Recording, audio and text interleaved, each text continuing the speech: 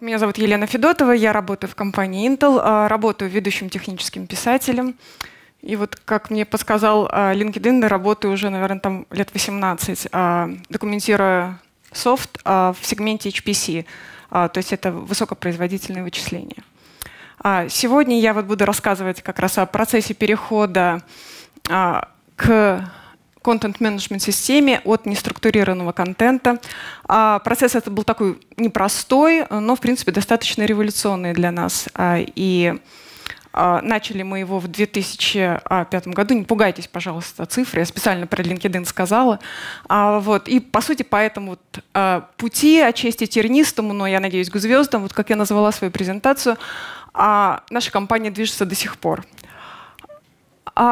когда в 2005 году мы задумались о вот этом переходе на структурированный контент, а, ситуация а, с нашей документацией, наверное, напоминала вот такой вот а, хаос древнего Вавилона, когда у нас постоянно появлялись запросы на новые, ну, документацию для новых продуктов.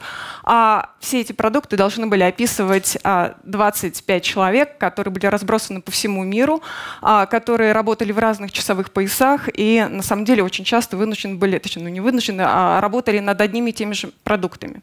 Причем исторически а, наши технические писатели а, работали в разных редакторах. Это могли быть а, RoboHelp, WebWorks, FrameMaker, потом Madcap Flare и так далее.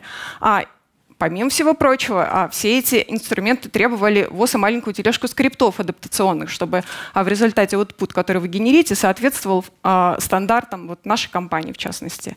Помимо всего прочего, кроме этих тулов, мы должны были, соответственно, знать, как работает какая-то, ну, какой-то инженерный репозиторий, а он у всех инженеров, у всех инженерных команд был разный. И, соответственно, эти тулы тоже у нас а, очень серьезно отличались. А, всем инженерным командам хотелось а, следовать веяниям времени, поэтому постоянно появлялись запросы на новые форматы документации. Ну, это были там Visual Studio, Help 2, Help 3, это были Xcode, это были, а, это были эклипсовые плагины, мен-страницы и так далее. Все хотели все. А, нужно было уметь их генерить с помощью вот этих вот редакторов. И параллельно мы таскали, естественно, с собой а, старую нашу legacy документацию, которая была плохо структурирована, которую отчасти писали а, инженеры, потом как-то там вручную доводили технические писатели. А вот. Но тем не менее, вот к этому времени, к 2005 году, мы а, уже сделали ряд вот таких шагов, которые, вот, если пользоваться вот этой а, вавилонской аналогией, а, приближали нас к тому, чтобы говорить на а, одном языке. А, так, например, а, мы пользовались тулами, как RoboHelp и FrameMaker, которые предоставляли вот эту технологию единого источника. А, мы могли генерить а, какие-то нужные нам форматы, адаптировали их какими-то скриптами, а, писали какие-то скрипты для автогенерации. А, но все вот эти решения, опять же, а, на чем держались? Выходит новый апдейт какого-то софта, и, соответственно, все вот эти скрипты тоже нужно апдейтить. Вот. Мы хотели в итоге прийти к тому, с чего начали жители Древнего Вавилона. Мы хотели говорить на одном языке, мы хотели работать в одной базе данных, мы хотели работать в одной а, среде а, и а, иметь а, какой-то надежный, стабильный output. А в связи с этим а, мы поставили вот себе ряд определенных целей, первая из которых была а, единообразие структуры наших документов. В нашем случае это требование приобретало дополнительный такой акцент, поскольку большинство наших продуктов, которые мы документировали, они в итоге сливались в такой в один большой студийный продукт. И поэтому пользователь, который читал нашу документацию, он должен был видеть ее как, знаете, плод единого автора, абсолютно стандартный, узнаваемый, сканируемый, прогнозируемый и так далее. А, естественно, для вот этой будущей идеальной жизни нам нужен был а, один общий софт, а, который легко было бы апгрейдить сразу для всех, а, который бы там а, помог нам сэкономить там, на локализации, опять же. А, мы хотели а, как можно меньше тратить время на вот эту постобработку конечных форматов. Не хотелось таскать за собой все эти скрипты. Как я говорила, у нас они отличались а, в зависимости от тулов, которые мы использовали для редактирования. Мы все хотели писать, а, хотели а, узнавать продукт, документировать его, и не хотели, ну вот, как коллеги сказали, не хотели работать в том смысле, что адаптировать, билдить, а, интегрировать и так далее. Хотелось вот какого-то такого а, легкого, ненавязчивого решения. А, хотелось иметь возможность глобально переиспользовать продукт. И причем не только в пределах нашей инфодевной команды, но и в пределах других департаментов компании, таких как маркетинг, там, технические консультанты, юристы и так далее. Ну и очень хотелось иметь а, вот какую-то выделенную техническую поддержку, а, поскольку вот в нашем случае у нас были вот такие кружки техписов-энтузиастов, которые вот так вот собирались вместе, вот, ну и вот поддерживали нашу инфраструктуру, писали стайл-шиты, писали скрипты, а, но это параллельно с их основной нагрузкой. Но как только а, допустим, такой человек уходил из команды, опять нужно искать волонтера, опять его учить, это все затратно. А, поэтому очень хотелось, конечно, такой квалифицированной, а, выделенной помощи. А, когда мы а, задумались о стратегии вот этого перехода на структурированный контент, мы в первую очередь решили воспользоваться методологией, предложенной Джоан Хэкас. Не знаю, вот кто-то слышал это имя? Вот, да, приятно. На самом деле она такая в Штатах достаточно очень популярная тетенька, она такой евангелист от техписательства, а вот, и она а, разработала так называемую контент-менеджмент стратегию. И именно она, в частности, как, по-моему, в 2004 году, что ли, книжка вышла, вот, и она как раз популяризировала очень серьезно дит-архитектуру и так называемый топик-ориентированный подход. Так вот, а, мы воспользовались вот этой стратегией, и для того, чтобы писать топики а, согласно этому подходу, нам нужен был инструмент. Таким инструментом а, в нашем случае стал а, XMetal от компании Jazz System. Это коммерческий тул. Естественно, нам нужно было продолжать генерить вот эти а, разнообразные, нужные нашим инженерам а, и нашим пользователям форматы. А, делать мы это собирались с помощью DITA IT. Но в итоге-то, конечно, мы все хотели прийти вот к этой контент-менеджмент-системе, системе управления контентом, через которую мы могли бы полноценно существовать, пользоваться все, всеми вот этими благами. Ну, с чего мы начали? Мы начали, естественно, согласно методологии проанализировали всю нашу документацию. А, мы а, сравнили ее с теми топик-типами, которые предлагает Дита. Мы а, выделили контент-юниты. Мы идентифицировали те топик-типы, которых нет в Дита, а по умолчанию, которые нужно создать. То есть топики, требующие Дита специализации, соответственно, их контент-юниты. По счастью, у нас уже был контент, который был достаточно структурирован, как, например, какой-нибудь там function reference. Тут как бы трудно отступить от а, шаблона. А, вот, и его можно было не трогать. А, но количество неструктурированного контента, оно было все равно огромным. А, и мы понимали, что это слишком амбициозно вот так вот планировать вот такой вот переход масштабный. А, поэтому мы приоритизировали нашу работу и решили сфокусироваться в первую очередь а, на самом критичном для продукта контенте и на контенте, который а, можно переиспользовать. И именно этот контент мы переписали в соответствии вот, а, с DITA-топиками, с теми контент-юнитами, которые мы выделили. А, нам выделили XML-инженера, а, который помог нам сконвертировать а, вот этот вот новый переписанный контент а, из старый legacy контент в DITA XML. И вот этот вот на самом деле период от анализа до конвертации занял у нас около трех лет для всех наших проектов. Потом какое-то время мы существовали вот в этом режиме, а, работая а, в XMetal, а, используя наши контент-типы и используя DIT для командную строку командный интерфейс непосредственно для генерации нужных нам форматов. И по сути, вот это вот решение, оно уже дало нам часть а, вот того функционала, о котором мы мечтали, который нам был нужен. То есть контент был стандартизован, а, форматы были, единый источник был, а, вот была техническая поддержка, но тем не менее все равно вот это решение, оно было локальным, потому что а, это была локальная разработка а, индивидуально на системах, каждым техническим писателем не было централизованной базы, не было централизованного глобального переиспользования контента, не было унификации вот, общих процессов. И вот а, года а, спустя а, мы получили фондирование а, на приобретение контент-менеджмент системы. А, называется она а, SDL3Soft. А, и наша компания а, адаптировала эту систему для себя. А, называется она теперь, эта система а, IPX. А, и вот именно про нее я сейчас немножечко поговорю, что дала нам эта система. А, дала она нам а, полноценную среду разработки и публикации. А, то есть, соответственно, там, от начала и до конца, работая в XMET или используя все вот эти механизмы публикации, мы могли генерить разнообразные форматы. Причем эти форматы соответствовали ну, новейшим требованиям, там, не знаю, responsive дизайн какой-нибудь и так далее.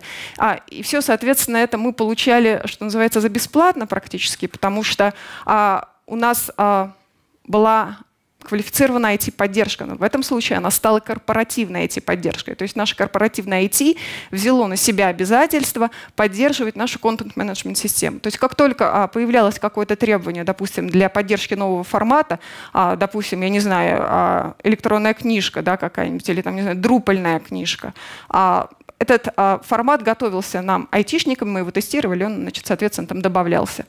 А, мы получили возможность переиспользования а, не только контента, но вообще всей инфраструктуры. То есть а, мы все поголовно сейчас живем вот в этой среде. Если мне нужен какой-то контент, который сделали там, я не знаю, наши юристы, я не знаю, legal там, дисклеймеры какие-нибудь, я с помощью механизма ConRef могу переиспользовать эти куски. Это могут быть там, не знаю, куски текста, это могут быть целые топики, и это действительно, на самом деле, конечно, очень удобно. Одна из основных ценностей этой системы. Помимо всего прочего, SDL Resoft подарил нам а, веб-решение а, для инженеров. А, то есть в купе вот с нашей основной системой идет утилита, которая позволяет такая, такой легковесный веб-редактор для инженеров.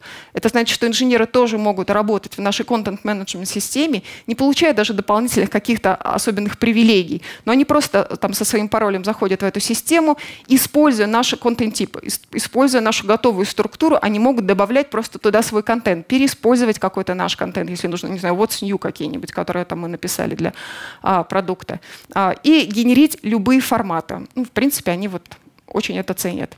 А, Content-менеджмент система дает а, такие такой полный функционал репозитория а, с контролем версий, а, с созданием бранчей. А, на самом деле до сих пор все-таки мы немножечко используем инженерные репозитории по необходимости, а, но сейчас эта необходимость сократилась до минимума, потому что с 2017 года мы приняли решение а, перенести практически всю нашу документацию на веб такое было, ну, такое серьезное, очень революционное для нас решение, потому что, как я сказала, наш клиент, э, очень многие, там, это HPC-сегмент, который работает в закрытых лабах, но, тем не менее, а, контент а, стал веб-based. Что это значит? Это значит, что сократилось количество выходных форматов, которые нам просто нужно. А, вот. И вся, все объекты, контент-объекты находятся в CMS, мы их верси версионируем, нет нужды использовать а, инженерные контенты. Ну и, как я уже сказала, а, IT-поддержка у нас есть. Эта IT-поддержка занимается а, апгрейдами а, всего софта, который нам нужен. То есть вышел новый Dita IT, они нам его интегрировали в систему. А вышел новый XMetal, они нам интегрировали в систему. Мы, по сути, только а, тестируем а, вот эти форматы. А, мы получили а, решение для для того, чтобы сабмитить э, запросы на дополнительный функционал, для того, чтобы сабмитить баги на какое-то, ну, отсутствие какого-то функционала или э, какие-то ошибки в системе. И это тоже решает э, для нас IT. На этом э, слайде такое схематичное изображение вот этой нашей контент-менеджмент системы IPX, в основе которой, как я уже сказала, лежит SDL 3Soft. А, то есть у нас а, есть а, тул для редактирования, а, это XMetal а, с интегрированным а, DIT-XML, а, через а, Authoring Bridge а, XMetal общается с нашим этим большим репозиторием, который регламентирует все. То есть он дает возможность, это механизмы и локализации, и указывает, какие права, полномочия имеют писатели, следит за жизненным циклом всех объектов, и это все унифицировано. То есть все проходят одни и те же стадии.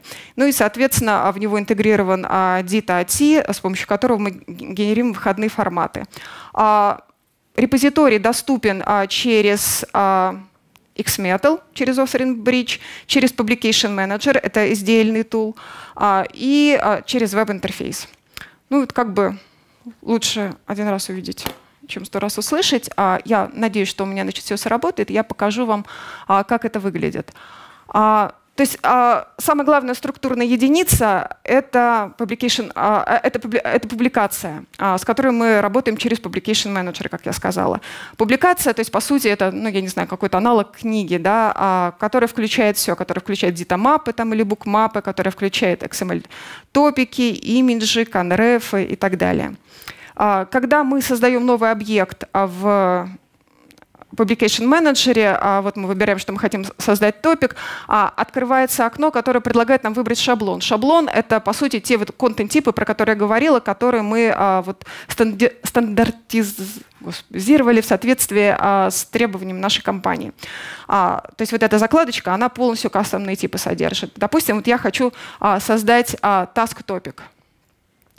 А, когда я его создаю, система автоматически присваивает ему а, уни, а, GUID — это идентификатор уникальный топика. А прелесть этих гуидов Сейчас вы, наверное, почему-то очень будет долго думать. Хорошо, что я хоть что-то открыла заранее. В общем, а прелесть, да, прелесть этих гуидов а, в том, что они позволяют а, не зависеть от путей. То есть мы можем объект а, совершенно безопасно перемещать по системе. То есть я не знаю, там в мои файлы, никто так не делает, конечно, но, допустим, в мои файлы может за, залезть какой-нибудь там технический консультант наш и передвинуть его там а, из одного каталога там в другой и так далее. У меня ничего не поломается, потому что а, все ориентировано вот эти вот а, идентификаторы.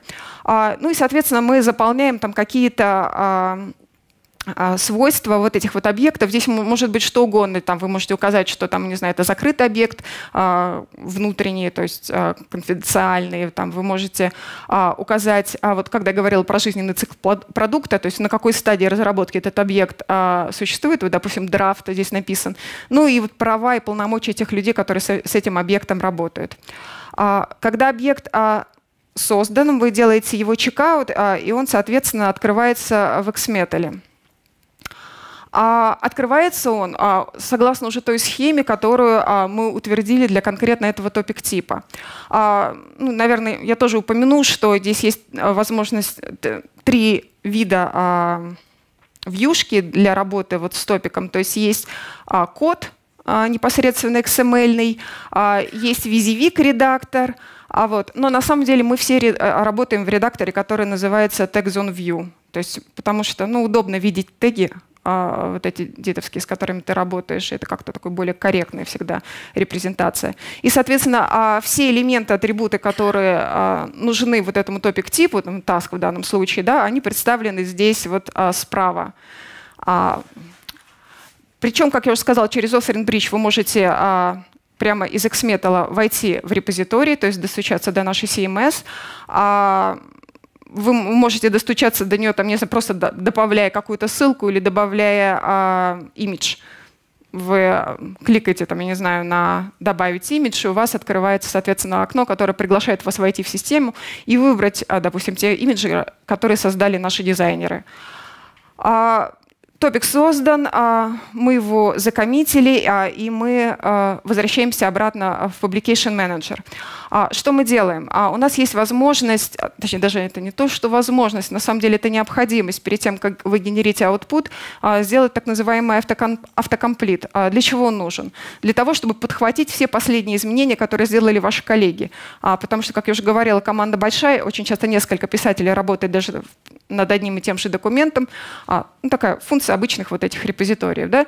А, то есть вы подцепили, вы сделали автокомплект, вы подцепили все изменения, а, вы добавили нужные вам conditional теги, а, там, не знаю, релиз, там, операционную систему, там, что вам необходимо, а, и переходите к вкладке Output, где вы на самом деле тоже можете выбрать, а, соответственно, там, а, добавить новый output формат. Вот сейчас в данном случае у меня для примера есть фар HTML, то есть это просто некомпрессированный HTML, ну, аналог WebHelp. Да? Есть Document Bundle, это такая наша терминология для Drupal буков. Это Drupal — это еще одна контент-менеджмент система, знают, наверное, да, большинство про нее. Вот, ну, в общем, на Drupal а, живет интеловский веб.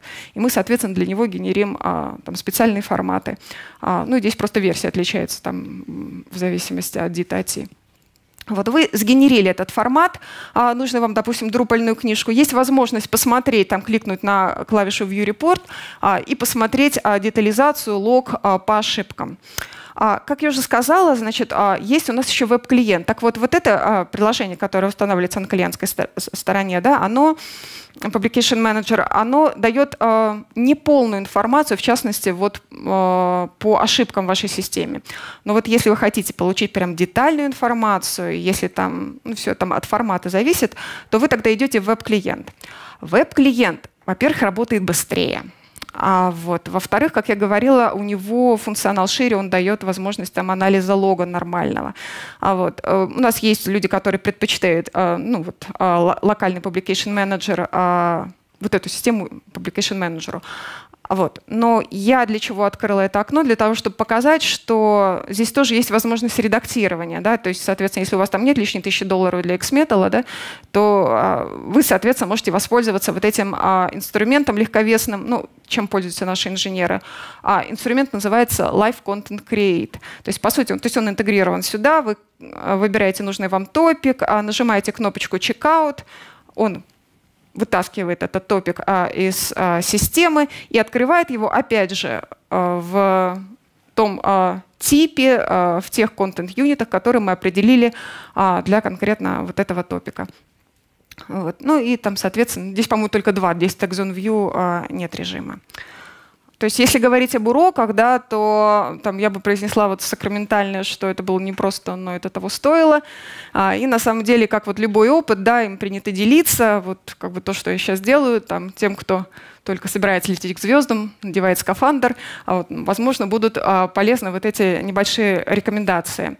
Первый из них «Действуй локально, думай глобально». То есть суть а, этого совета в том, что у вас могут быть там самые амбициозные планы, но нужно понимать, что нужно а, дозировать ваши задачи. Ставьте перед собой небольшие задачи, чтобы достичь их в обозримые сроки, чтобы получить этот результат. А, и потом, ну, соответственно, наращивайте, наращивайте функционал, а, свои аппетиты. А, в нашей ситуации вот это решение с непосредственным вот, через командную строку использования DITA-AT и XMetal, вот среднее средняя стадия, а, оно было как раз вот таким а, промежуточным решением, которое сразу дало нам ощутимый результат и половину того функционала, который нам был нужен. А, как я уже говорила, важно приоритизировать контент, потому что переписать так все и сделать сразу всю жизнь счастливой, наверное, невозможно. Нужно фокусироваться на чем-то определенном. Нет правил без исключений. То есть любая методология — это просто теория, которую нужно поженить с практикой. А никакая там Джоан Хэкас или там команда IBM, они не знают вашу специфику, они могут дать вам вот эту теорию, вот эти топик-типы и так далее, а, но следовать а, буквально а, этой методологии может быть опасно. Ну, в частности, там наш такой пример. Мы абсолютно честно следовали так называемым ну, требованиям к task-топик типу, который говорил, что должна быть одна процедура на топик.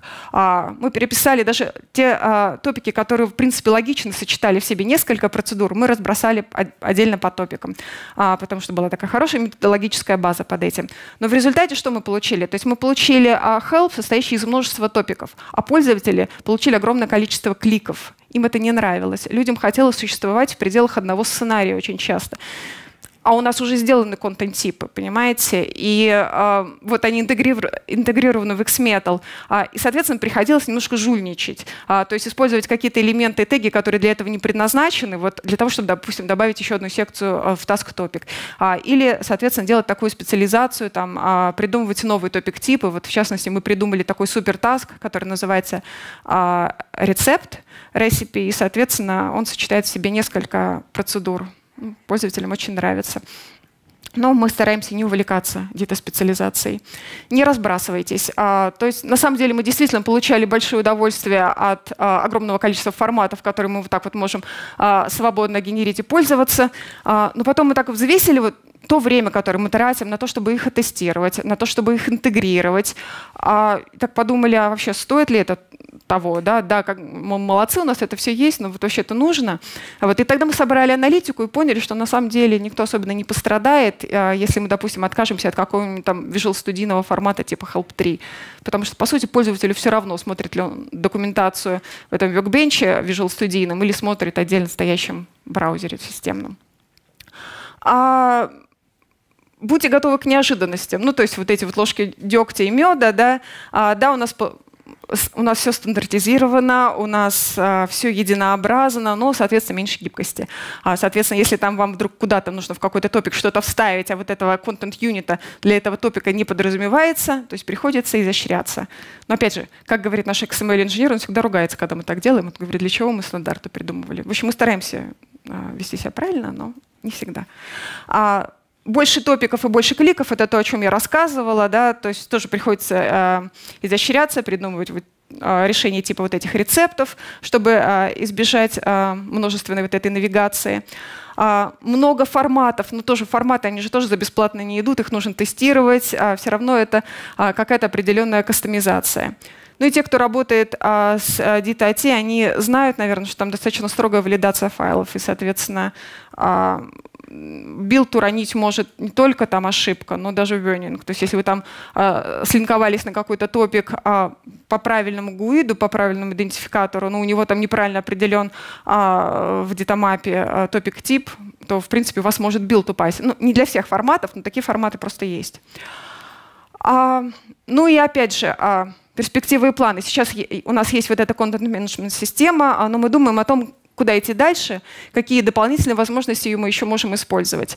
А, в принципе, когда мы начинали, а, система сама была достаточно сырой, и мы практически вот так вот а, на своем горбу практически ее вот так вот тащили, тестировали и оптимизировали, но все равно есть какие-то проблемы, которые хотелось бы очень решить в частности, за счет вендора, за счет SDL. А, например, хотелось бы добавить какой-то недостающий функционал, как вот, к сожалению, у них нет пакетных операций, вот как search and replace какой-нибудь. А, нет этой возможности, тоже там придет, приходится как-то находить какие-то решения. А, а есть, наоборот, какой-то функционал, который не просто есть, а он обязательный, вот как вот цикл жизни объектов. А, а нам вот он не очень нужен, если честно. А вот, и тоже хотелось бы как-то иметь возможность а, ему не следовать. А в конце этого года нам обещали интеграцию нашей контент-менеджмент системы с Drupal Book, о, э, с системой э, Drupal. А сейчас мы используем скрипты а, такие для того, чтобы постить нашу а, документацию на веб. Ну, в общем, нам обещают, что мы это сможем сделать прямо вот одним кликом. А еще одна очень такая интересная а, возможность — это динамическая публикация. У нас уже на самом деле был такой опыт а, для внутренних пользователей, когда вы даете им возможность генерить а, документы. То есть он выбирает нужный ему контент, а он выбирает нужный ему формат на веб-сайте, и, соответственно, ему генерится под него конкретный документ. Вот. И иметь такую возможность сделать это для внешних пользователей через CMS для нас было бы таким серьезным достижением. Ну вот еще к концу 2018 года а, нам обещали интегрировать а, в систему Acrolinks. Это кто-нибудь знает, что это такое? Да, ну вот, в общем, это да, это по сути а, такая такая программа, которая позволяет анализировать ваш контент на предмет, там, я не знаю, соответствия стандартам, поисковой оптимизации, там, стиля, тона ваших документов. Вот. Наверное, это все. А, решение прекрасное, перспективы замечательные, но вот ложку дегтя тоже никто не отменял.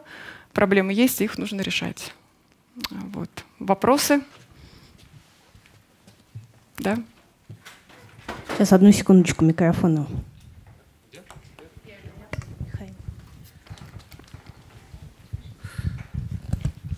спасибо за интересный рассказ. Если я правильно понял, вы делаете честную специализацию, то есть не просто в э, стандартный концепт набить э, табличек да. нужного вида, а это честная специализация.